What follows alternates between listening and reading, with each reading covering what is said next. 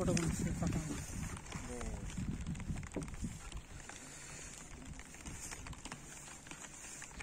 light को तो आप लटाएँ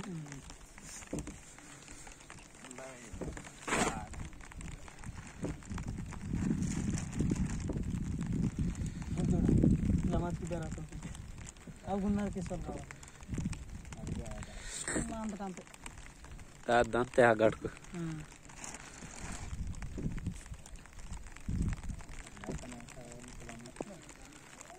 అదే కుదిరితే ఆకుదాం లేకపోతే లేదు